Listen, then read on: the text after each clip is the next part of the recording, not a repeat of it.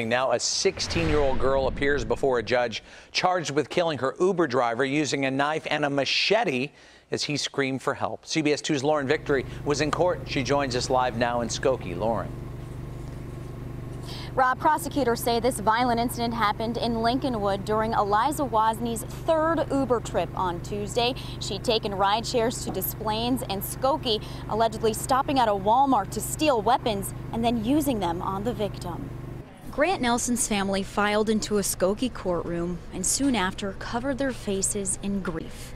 The details were horrifying and saddening. Prosecutors graphically laid out the attack on the 34 year old Uber driver, his alleged killer, a 16 year old passenger armed with a knife and machete.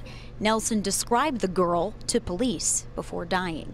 He's laying in the grass, bleeding from multiple deep stab and hacking wounds to his arms, side, head, and chest. Curly blonde haired Eliza Wozny murdered him randomly, say prosecutors. They offered no motive but called her dangerous. A judge agreed, telling the court, quote, the crime is extremely violent in nature, and defendant ran from the scene and attempted to change her appearance, which is relevant to my decision. Bail is denied.